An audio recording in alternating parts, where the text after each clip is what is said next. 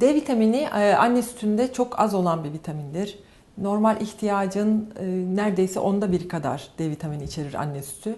E, biz bu nedenle bütün bebeklere D vitamini takviyesi öneriyoruz. Ayrıca D vitamini vücut için çok önemli bir vitamin. Sağlıklı kemik gelişmesi için çok gerekli. Ayrıca hücrelerin büyümesi, kas ve sinir hücrelerinin birlikte işlevsel olarak birlikte çalışabilmesi için D vitaminine ihtiyaç var.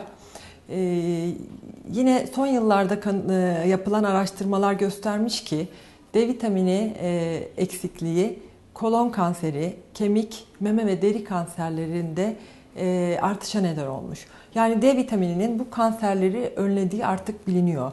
Hatta Amerika'da yapılan iki araştırmada D vitamininin kolon kanserlerinin %66, meme kanserlerini %50 oranında azalttığı saptanmış ki bu çok büyük bir oran.